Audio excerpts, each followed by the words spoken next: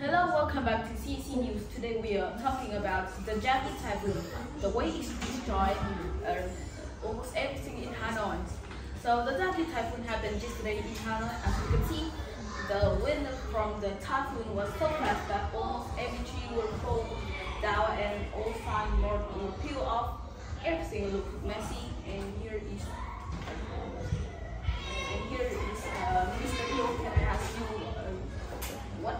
felt during the typhoon show? During the typhoon it was crazy. The sounds like bullets shooting the sun. It just sound like an explosion. And luckily no one got injured. After the typhoon, we should prevent go near energy because it's my fault. It's my fault and when we go outside try to find the roads that not have much so there will be no traffic jam because of the change.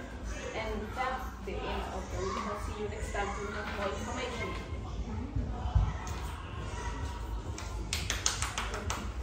thằng kia mày phản bội